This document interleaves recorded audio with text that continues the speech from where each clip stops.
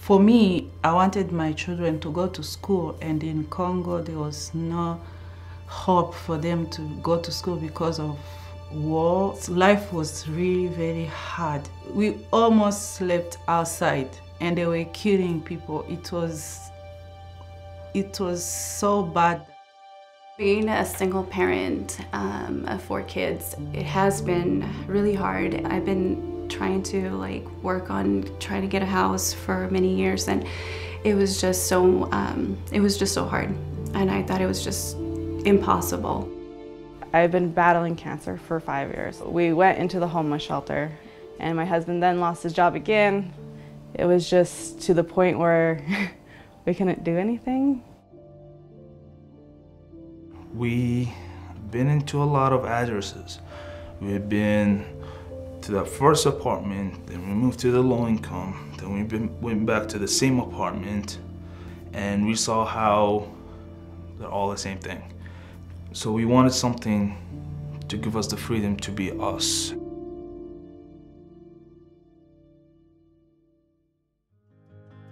Boise doesn't have hardly any housing available on the market for less, less than uh, $200,000. For the city to be sustainable as a place where people want to come and live, you need housing options. Thank goodness there's people like Leap Charity and BART who's, who, who we can fit in little components to help out those people who are otherwise lost in the process.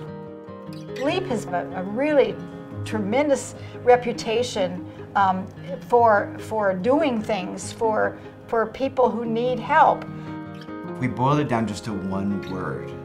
That word would be dignity. We don't say, well, those families are poor and so they, they can access adequate housing. It's, it's okay, it's not great, they should be thankful for it. That's not, what, that's not the aim that we have as an organization.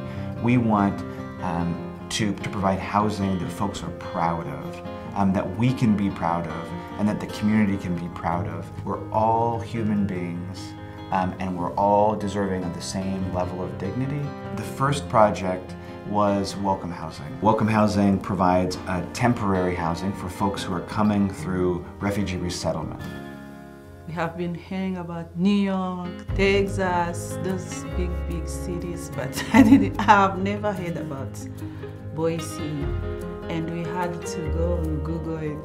It was like, oh my God, what kind of place is this one? I told my children, I said, you know what? If God has chosen that place, it means it's our place of blessing. It has been more than what I was expecting. In one year, I achieved so much that I am even wondering how it happened.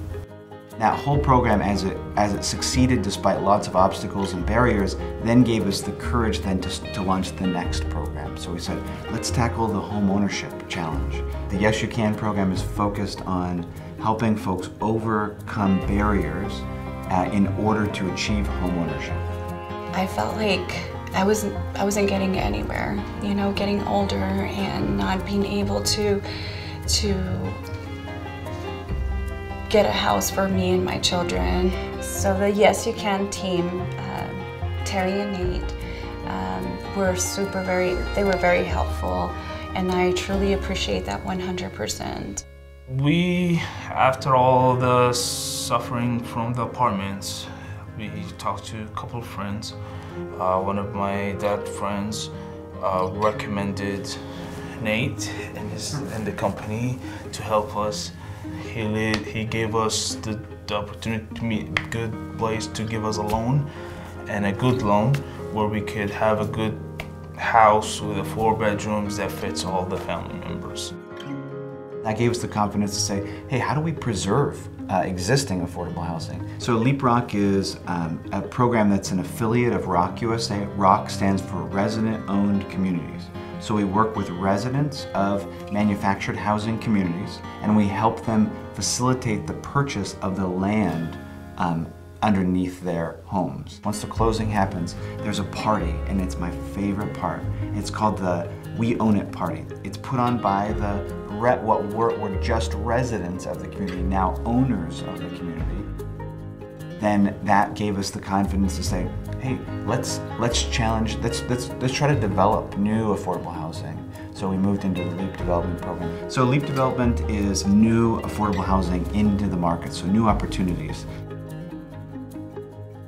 We decided that we wanted to buy a piece of property and at, at some point um, help with affordable housing. What we need and what we've needed for a long time is, is affordable housing, but we also we also need to be a model, and that's what this was supposed to be for other developers. Honestly, I didn't know quite what to expect at first. Like, I thought we'd be coming in and it'd be stacked up on each other and really close knit together and like no yards, no nothing. But when I got here, there's yards, there's grass, there's a rock yard and like tons of flowers everywhere.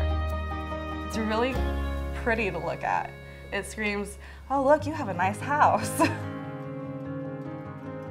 it's about anybody leaving a legacy of leaving this world in a better place. Bart truly believes that a handful of people can help change the world. Bart Cochran and his staff at LEAP have already started to change the world, especially here in Boise.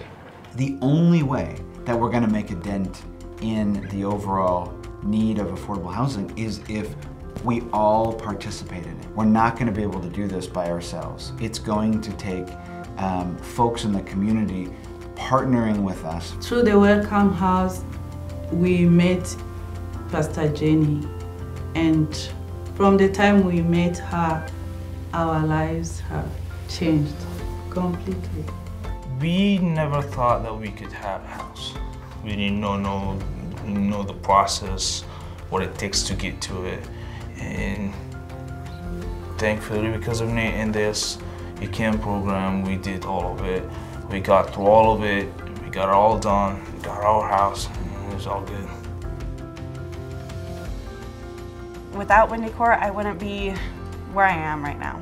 I was at a place where I would be homeless at that point. And the homeless shelters are hard. You know, having a LEAP here, it's given me the opportunity not to move out of state, not to be homeless, and have hope that I'm gonna be in the right place. It has definitely been a blessing.